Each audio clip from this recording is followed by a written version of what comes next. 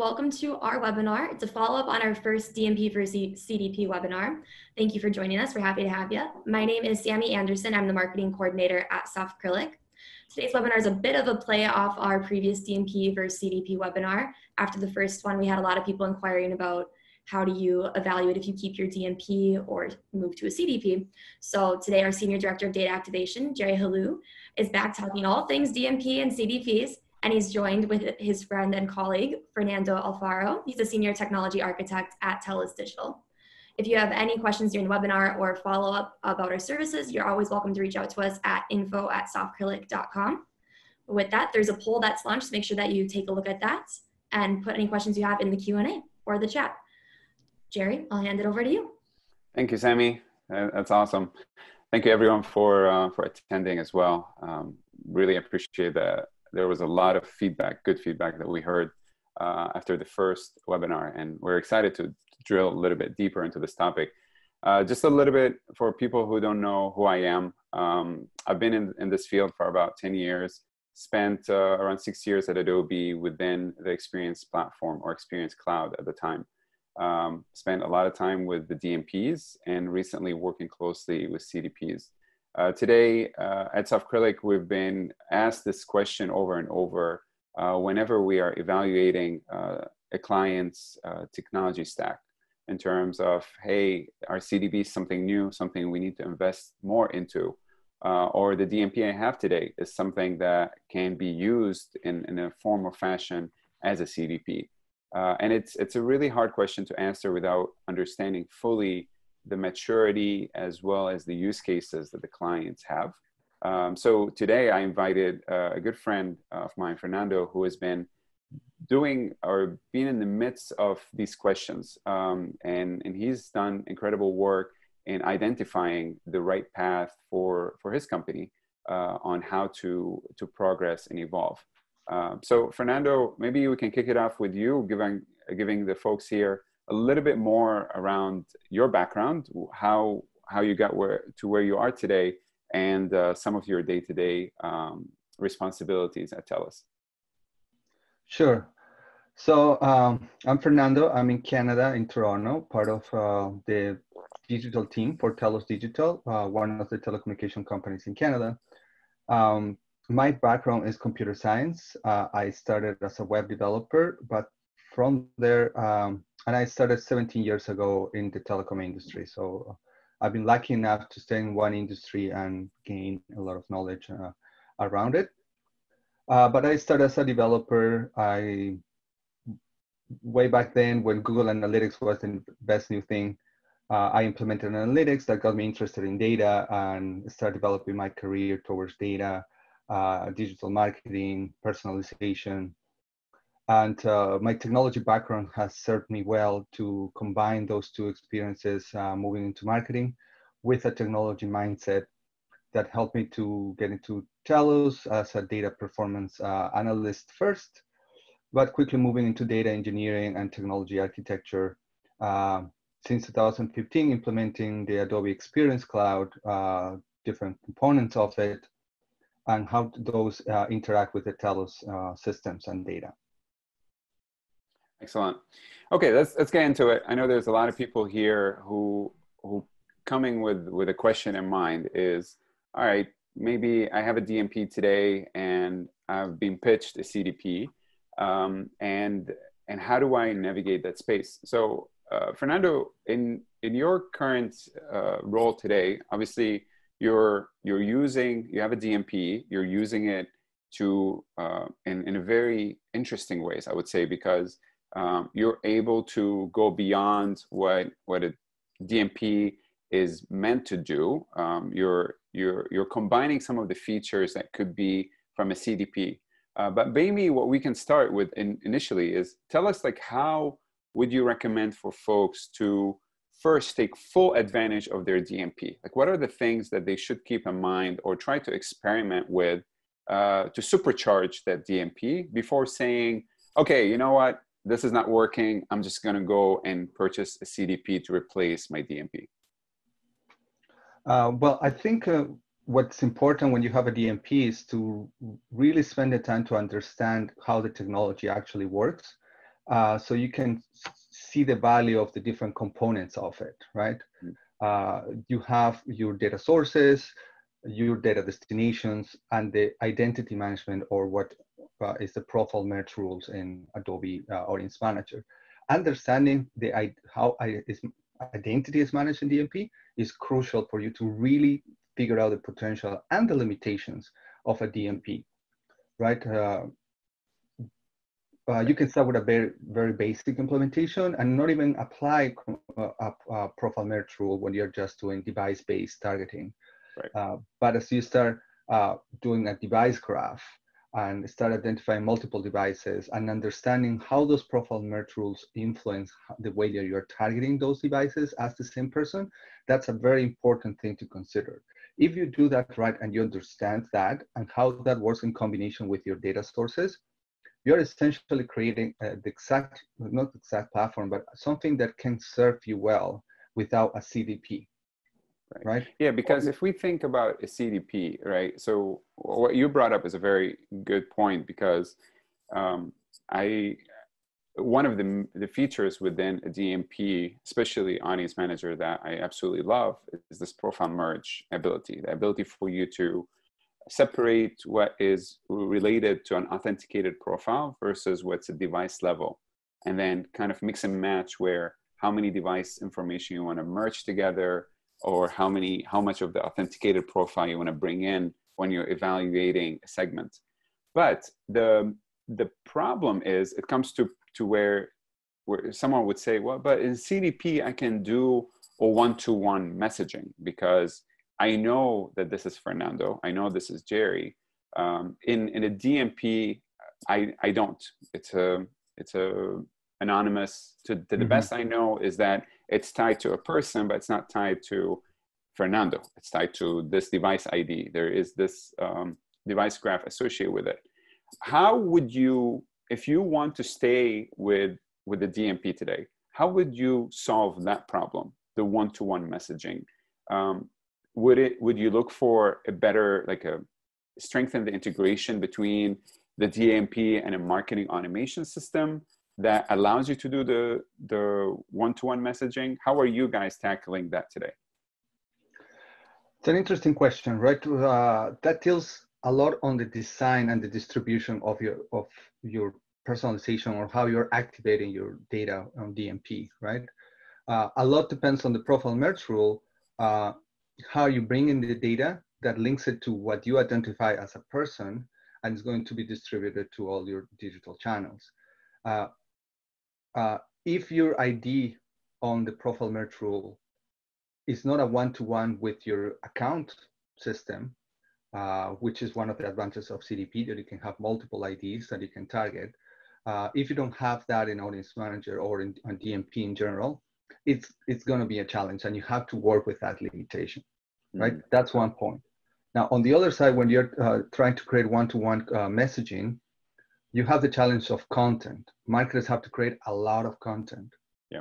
And that's uh, uh and we work uh, on creating our own apis to be able to deploy targeting messaging and a-b testing at scale and not running with performance issues when we deploy this. That's a different conversation, not about DMPs, but that's what we did in order to scale. Is that like a dynamic content, uh, like allows you to create dynamic content so that you don't have to create a creative for every type of campaign? Uh, that's that's the goal. Okay. But what we did is basically separating the creation of the of the A/B testing, for example, from the content. So the mm-hmm. content lives in the content management system. So content owners are able to build the content for different tests of different messaging without having to deal with the complexity of your A-B testing tool, for example, right? So kind of separating their concerns. But that uh, the idea is that now that we have all the content living in the content management system, how can we make that dynamic? How we can uh, make it instead of um, how call it like different uh, types of messages uh, separated, how can we make it components that can dynamically be combined to create content uh, at scale, right? That's content at scale, basically, right? So those two things are uh, very important when you're talking about a one-to-one messaging, right? Understanding how are you profiling for your digital uh, channels and how are you going to dynamically create content?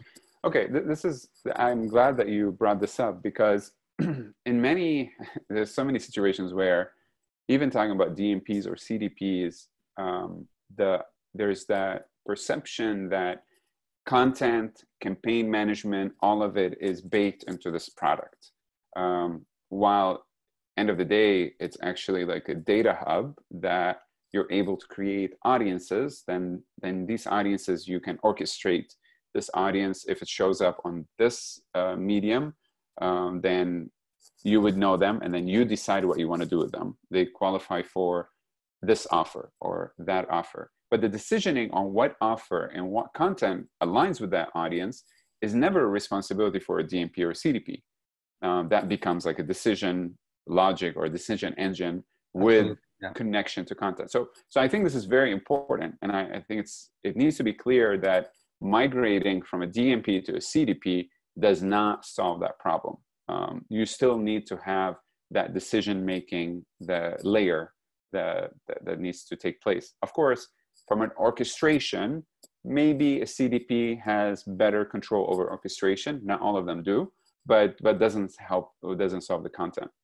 Um, related to this, you, you mentioned the APIs. And APIs have become such a big deal uh, over the past, I don't know, few years. Um, Adobe is pushing the Adobe Experience Platform to be Adobe uh, API friendly, right? And, and that's great.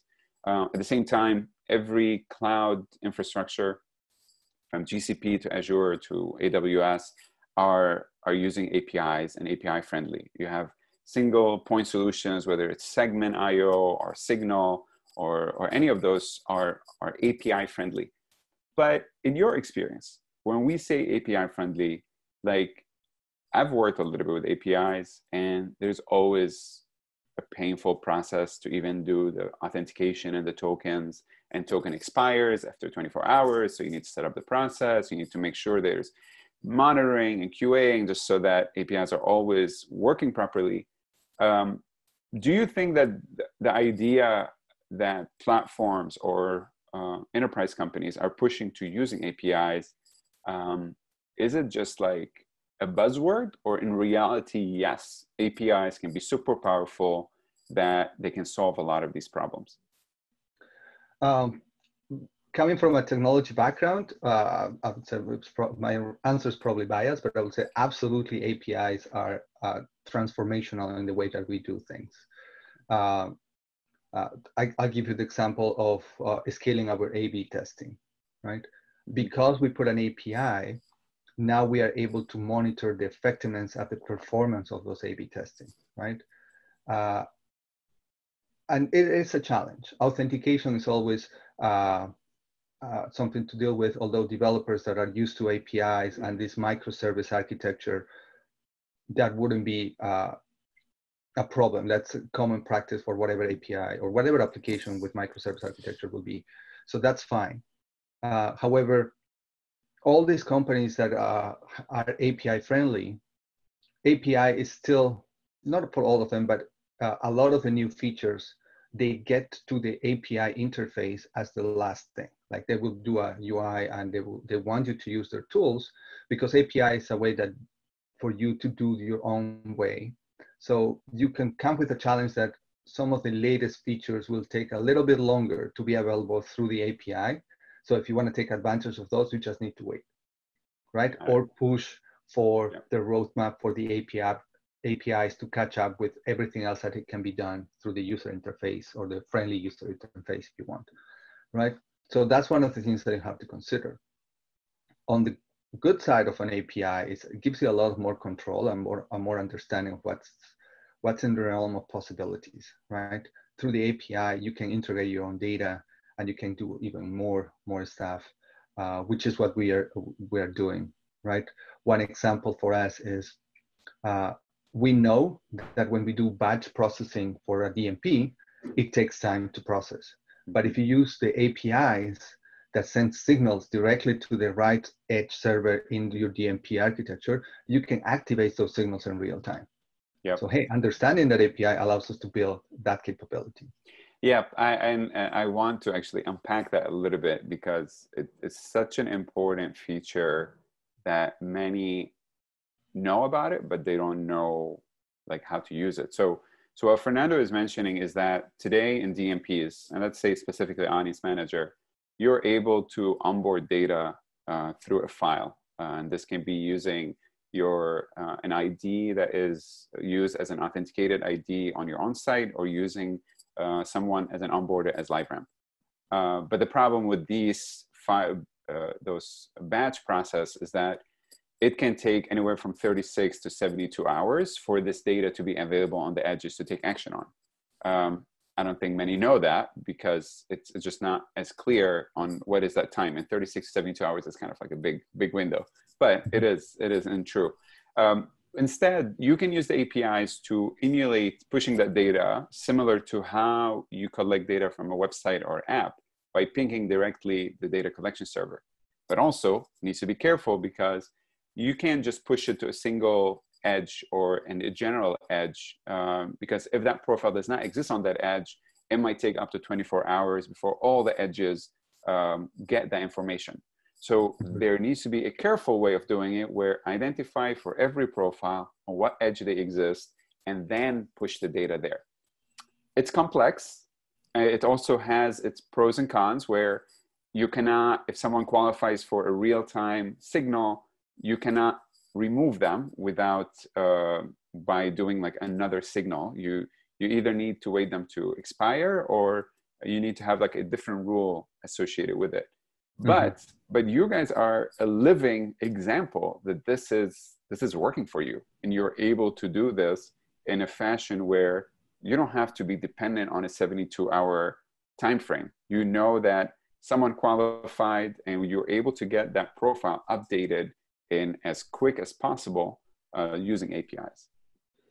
Yes, uh, but it is complex, like you said, like understanding uh, where to send that signal, understanding your uh, the edge server architecture, in this case for us, for Adobe, uh, it, it's important. Now, we are a, a, Canadian telco, so we basically care about two edge servers. So it's not a very complex uh, problem for us. And we can even guess based on their billing address, what edge servers is serving this customer if I'm a travel agency or an, or an airline, I'm in big trouble because my customers could be all around the world. So I don't really know where is the latest edge server that my customer has been seeing for, mm. or if the next time I see him is going to be on that edge, right? So you have to consider that whatever you do, 24 hours will be the best case scenario, at least from my perspective when you're talking with airlines.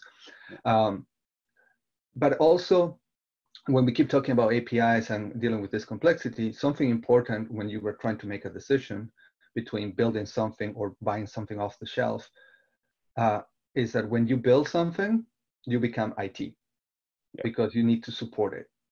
Yeah. So my team has grown from being analysts putting reports in dashboards to now having to to support maintain a soft software we have APIs that have release notes that have to be backwards compatibility that have to like deal with the uh, latest technologies that we need to have monitoring and uh, worrying about DDoS attacks and all of this uh, complexity that comes with you building software, right?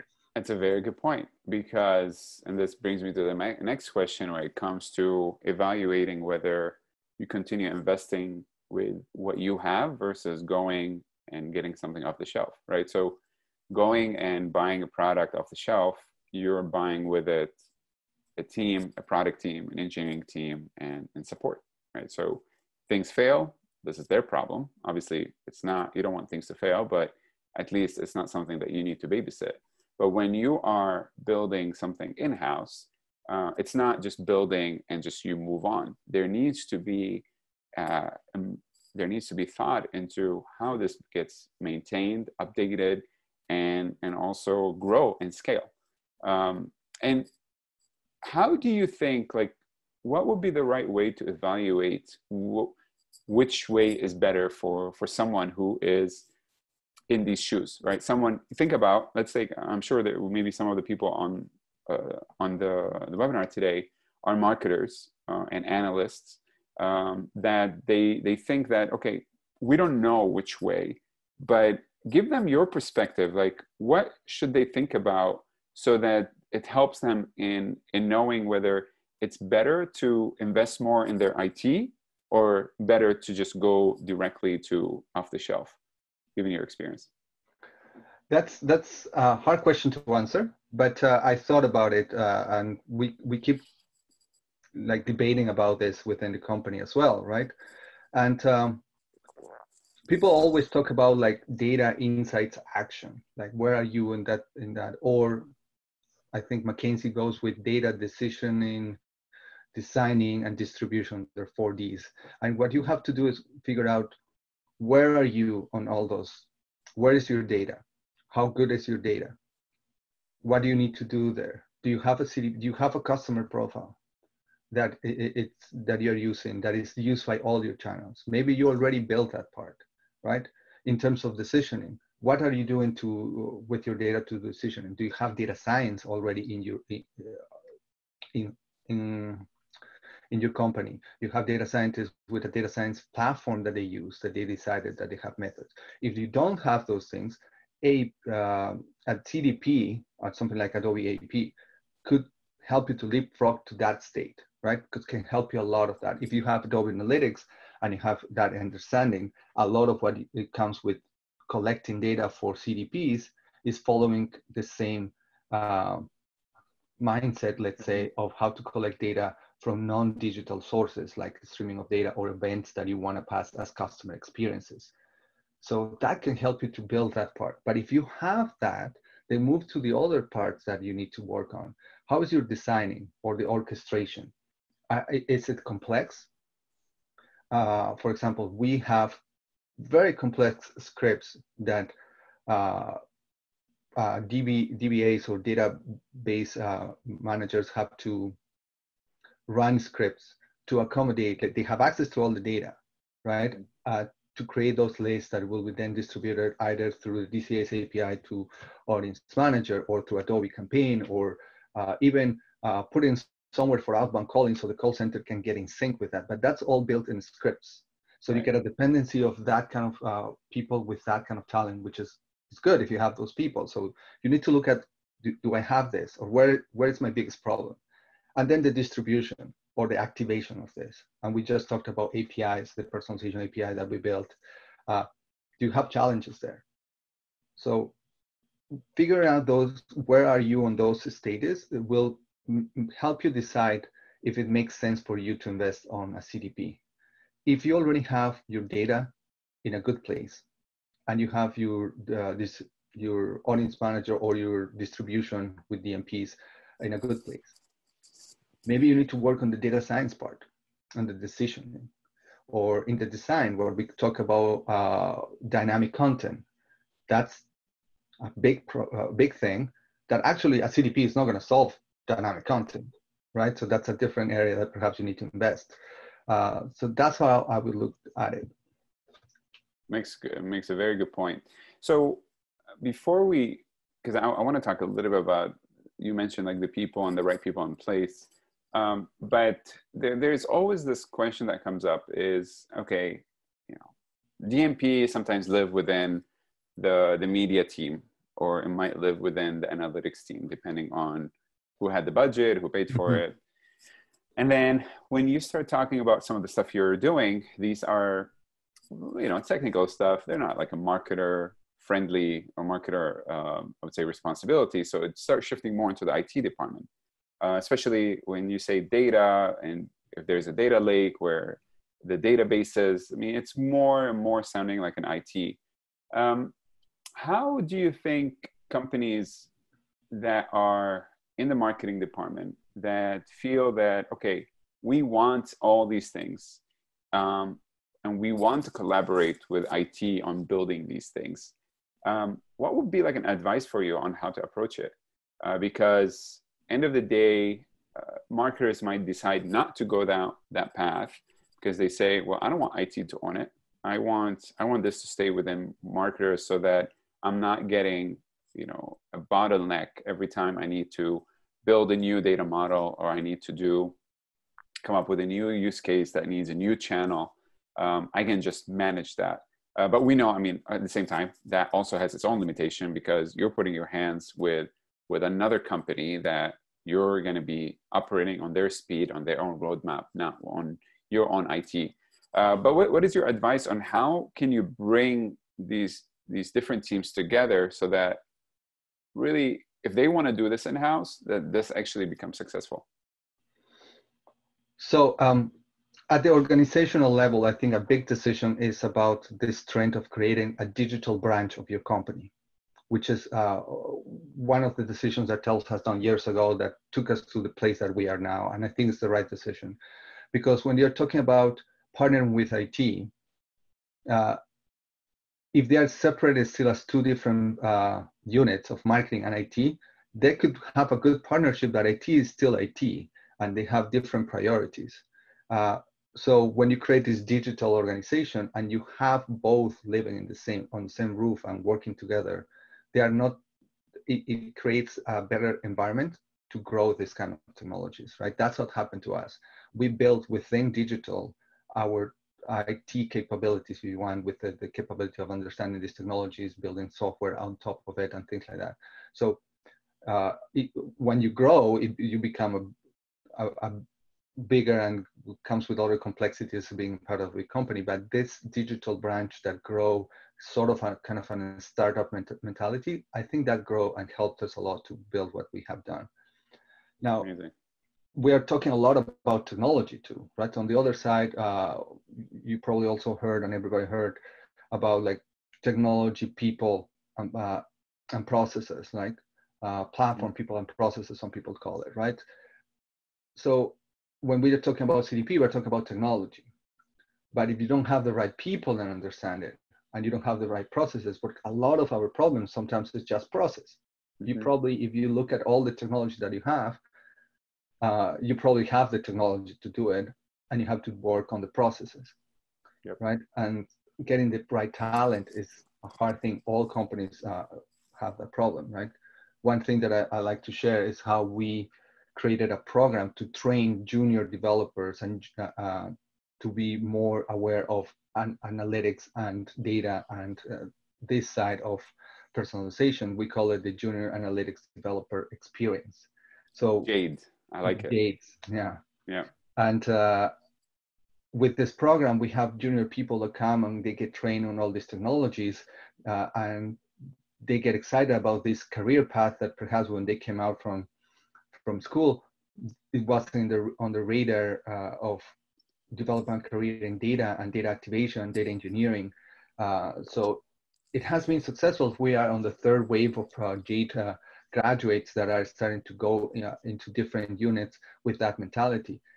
And that helped a lot to ease the conversations when we're talking about technologies that marketers don't understand, but now they have somebody next to them that understands good enough and is part of their team mm-hmm. that also understand their business context to help them to build something with that.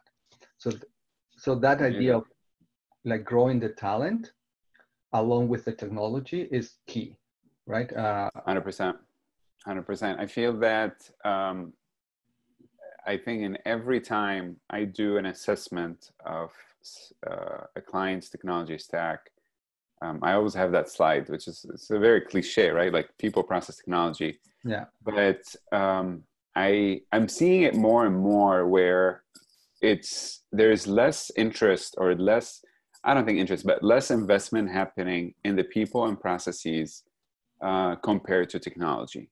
And and I, I don't know why. I feel like it's more whether it's the sales teams are so good where they make it sound like it's always a technology problem or that's the quickest one where you can write a check and you think that that will be fixed um, or the, the best way to you know use a budget if you're on in, mm-hmm. in, in a way that you need to finish a budget before end of the year.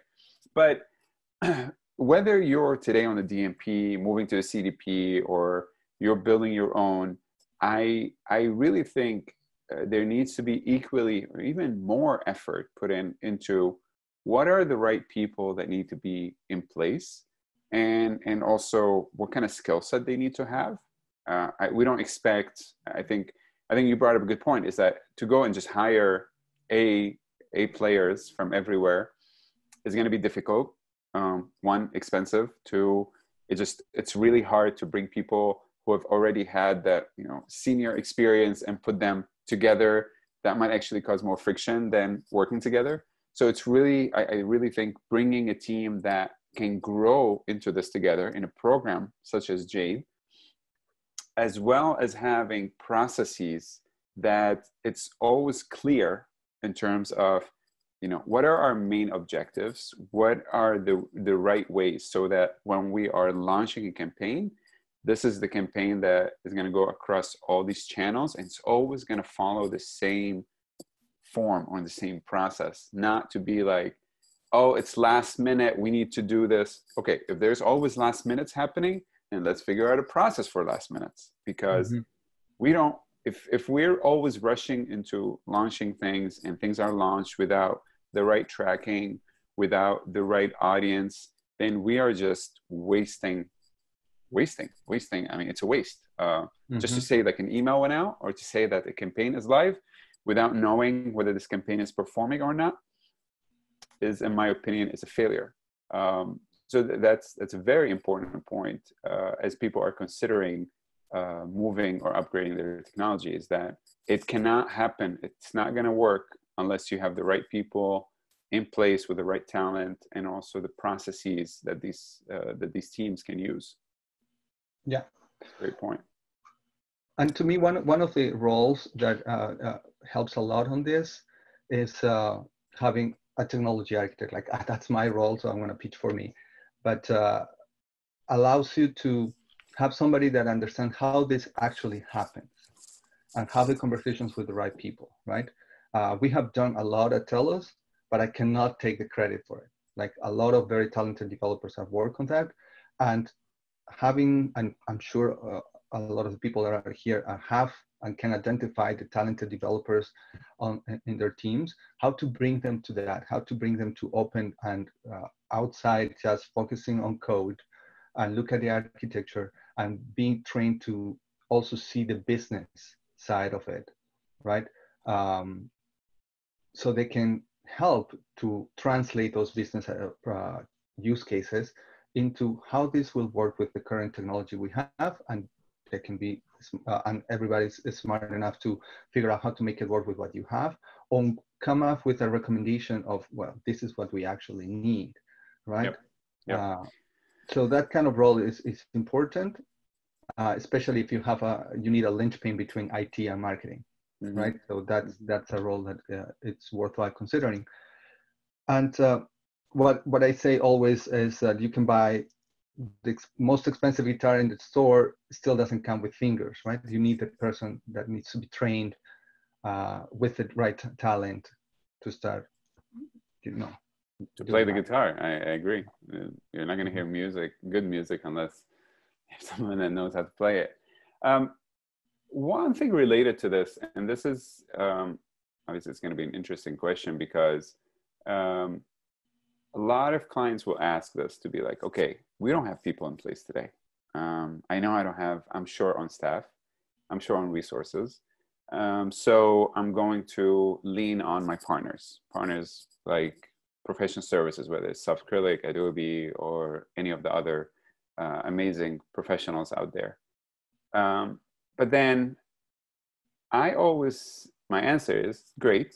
Obviously, I'm not going to say no for business. I always want to, to have more business with clients but for successful to see the success and make sure that this is growing um, there needs to be a plan put in place where you're not always dependent on your partners uh, because as much as a partner wants the best for you uh, a partner can is not fully cannot be fully vested the same way that you have an, an employee where they're breathing and eating and dreaming this company right?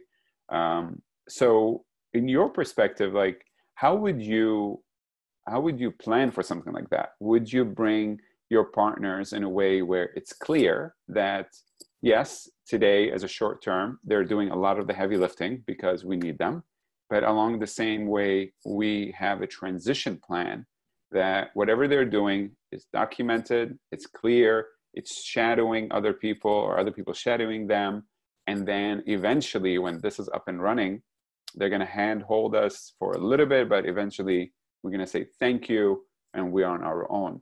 Um, do you think that that's the right way to do it? And if so, um, how would you approach that?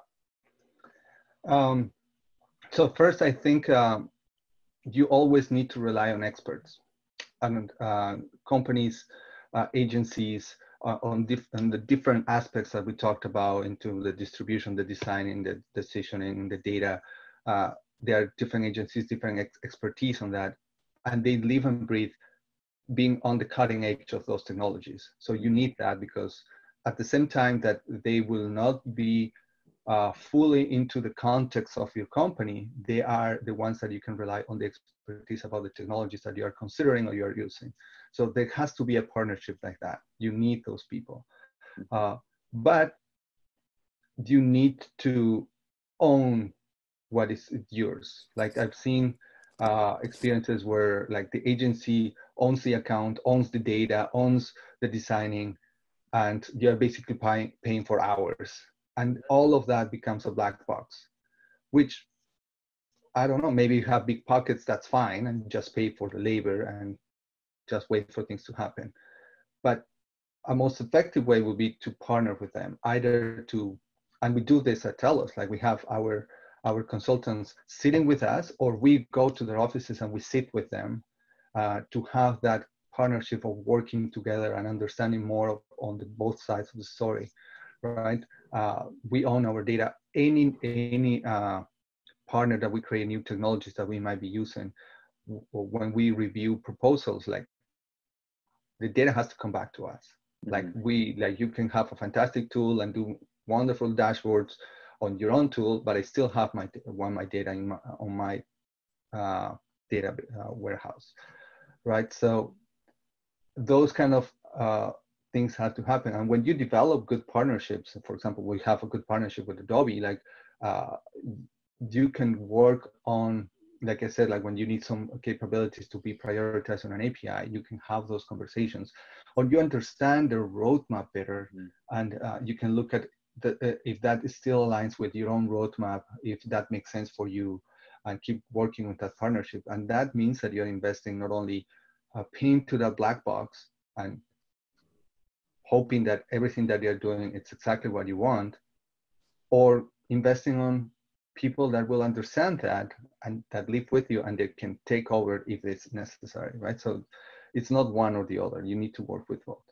That's awesome. No, it, uh, it's nice to hear how you guys have been able to to manage um, you know the technology the people inside your company and also the partners so that you're getting the best out of it i think you said something that i i've never heard before but it makes a lot of sense that you're you want to pay for labor or you want to pay for really like action and just like like you don't want to just pay for labor. Like we're not looking for people just to do things. We're looking for for us as a company to know how to do things because this is going to be done again and again and we need to do it right. And it's not just saying i don't want to think about this. Just go ahead and do it uh, and i'll pay this amount of money. I think that's, that's a very good way to put it um, okay so let's let's go back we're, we're approaching the the the 45 minute mark so i, I want to go back just so that we can talk a little bit in in just or summarize like what are the things to consider when you're evaluating a DMP? And I, I want to say a few that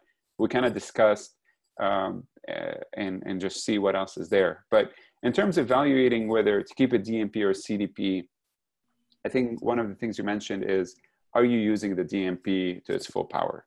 Um, are, are some of the things that you're, you feel that are limiting for you uh, are things that can be done, such as the leveraging of the profile merge to manage identity or the leveraging of uh, the APIs to push audiences in uh, that that will solve the problem of the um, uh, the real time or the latency. Correct. That was one. Um, another one was um, around like what is exactly your expectation of a DMP or a CDP like if it is about the the ability to create the content or the ability to orchestrate, um, need to make sure that this is actually something that is not existing in DMP today, but would it exist in a CDP, or this is still going to be a problem when you when you migrate when you so that you need to understand like the the decisioning engine as well as the the content that comes with it. Where does it exactly live?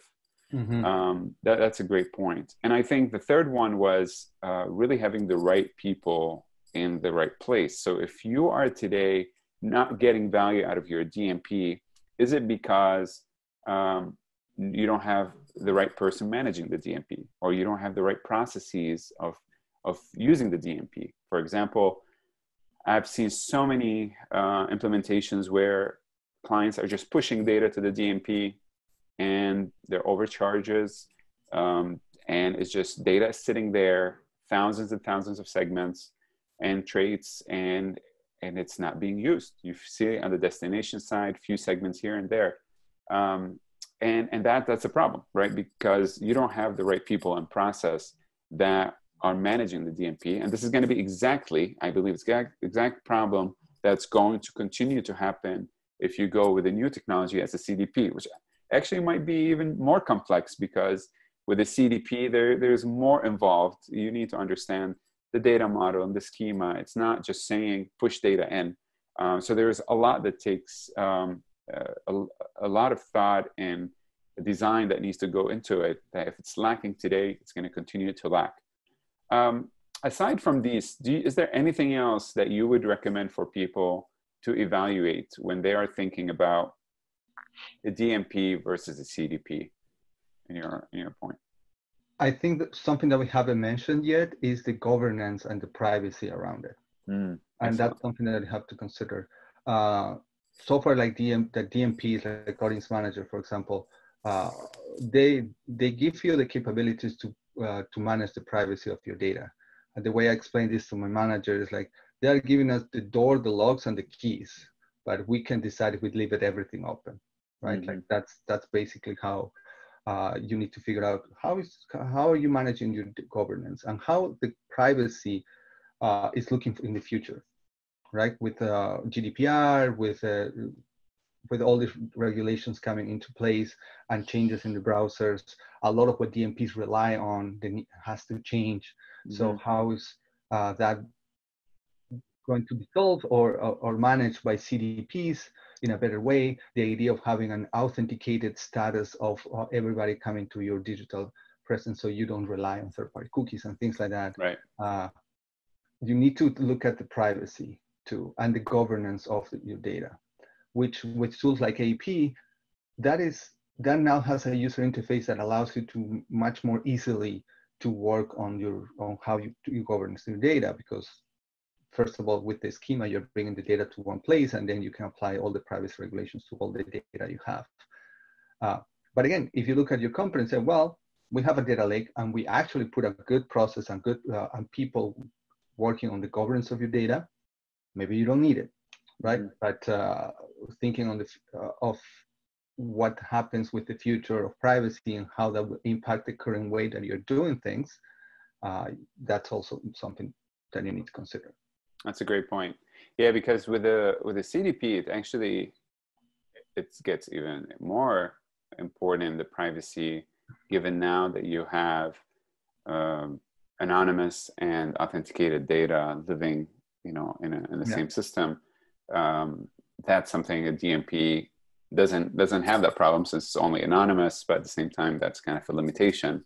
Why a lot of people are saying well, maybe the DMP is, is really not enough for me uh, because it's only anonymous and also with the third party cookie disappearing from iOS and IDFA now becoming, um, becoming kind of like an issue, then it's going to become less uh, of a point to use DMPs. Um, that, that's an excellent point. Now, if I if I want to ask you one last question, um, and and this is a really tough question. I don't know if you would have an answer to it, but um, let's say you are, um, it's 2018, and now, let's say at that time, um, you're trying to make the decision of whether to invest more into your existing stack or going and and purchasing something off the shelf. Um, and then this is 2018, two years ago, and then you're facing the same thing at 2020. Um, do you think would there be any difference in the decision you would make when back then versus now? That's a that's a good question actually because when I think about how to pitch a CDP, if you already pitched two years ago a DMP, and you have to pitch for a CDP this year, to your executives, like it's gonna sound like the same pitch. Like mm-hmm. two years ago, you promised me all that, all this already.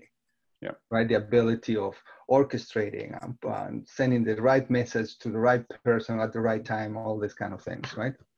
So it's a hard thing to say. Like two years ago, uh, I was super excited about starting with audience manager, right? Like mm-hmm. the, the, that was the right decision. That yeah. was the, the thing that was missing to do uh, device graph and targeting people and not devices and orchestrating, mainly focused on the digital channels. But now mm-hmm. that is expanding, that's growing, right? Now we're talking about uh, outbound channels like email, like push up notifications that, that were not part of what we were uh, doing before, right? Uh, I'm not even mentioning digital marketing because that's a whole different beast that usually I get very upset when I have to work with that. Uh, but uh, at that moment, that makes sense. And the evolution of now that you are not only looking at digital channels, but across all the channels, right? If you decide to target a person with this particular offer, how is your agent answering the call? Know about that and uh, uh, and keep the conversation aligned with that right? Mm-hmm.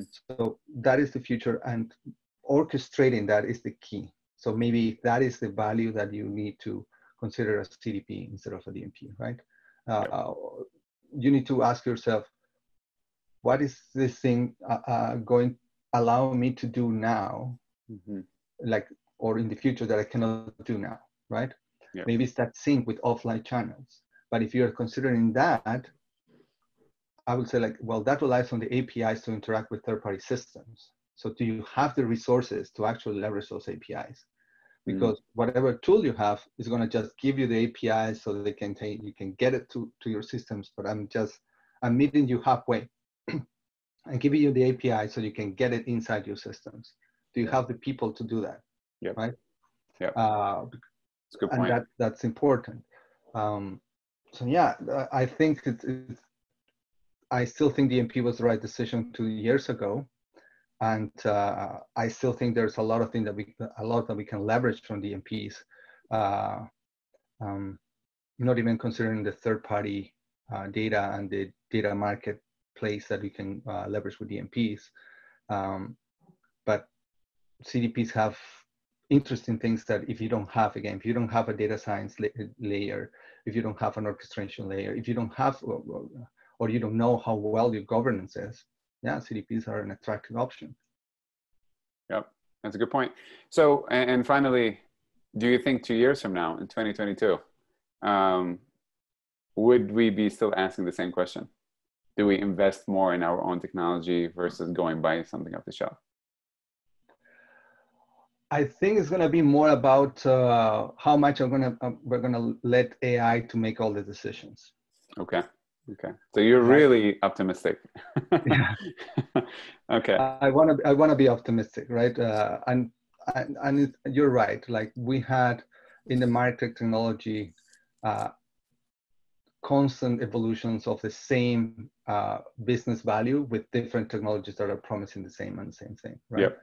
Yeah. Uh, right now, everybody's in the platform business. Everybody wants to be the platform for everything at mm-hmm. different levels. Some some are more like uh, on a SaaS model, more more. Some others are just a platform, and then you have to build it everything. But we give you all the uh, performance that you need that you don't have to worry about. Uh, so, but everybody's in the platform business, so you have to decide where are you going to make the decision.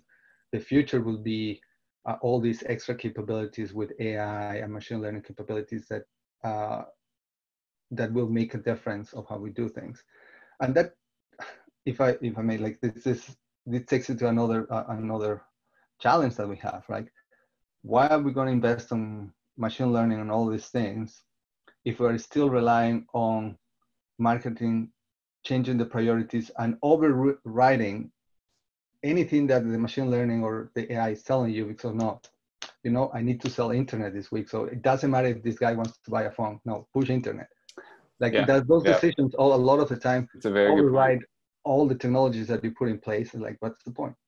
Yeah, I think that's the tough job where, as we talk about people and process, also the mindset of how this technology need to be used. Where um, I think in an organization where there's different lines of businesses, and they're fighting over the same, um, you know, uh, inventory to be like, hey, like this is the web page. When someone comes in, I really want them to see what we're doing versus another line of business. And when you come and approach to be like, but we have found that this person has a higher affinity or propensity to look at this and buy this it's a hard way to sell it um, i think i think what we have been successfully doing is testing it proving it showing the dollar amount at the end and then saying guys end of the day this company needs to make money we are able to show this profit so let's just expand that a little bit and people more and more buy into it but it's a very tough sell Mm-hmm. very tough sell. Great, Fernando. This has been a pleasure. I I want to say this is. I hope everyone enjoyed it as much as I did. Um, it's very refreshing to hear from your side on the brand side how you guys are doing some incredible stuff, and and I hope we we get to do this again and just maybe maybe not wait another two years, but maybe in a bit just see like how you guys are evolving and and hear some from our um, our friends on what questions they have. But this has been great. Thank you so much. Thank you. It was fun. All right. All right, guys. We'll see you later. We'll have this up on our website in next week with the recording and also a little bit of an overview of the top things we discussed. In the meantime, if you have any questions for me or Fernando, uh, please reach out. We are on LinkedIn and uh, we're very active there. So, um, Fernando, I'm, I'm volunteering you, but you're you're open No, to any I'm, questions. I'm happy Yeah. to share. I, I, I like to to talk about these things. So yeah. Excellent. All right. Thank you so much. Have a good day. Bye, everyone. Bye bye.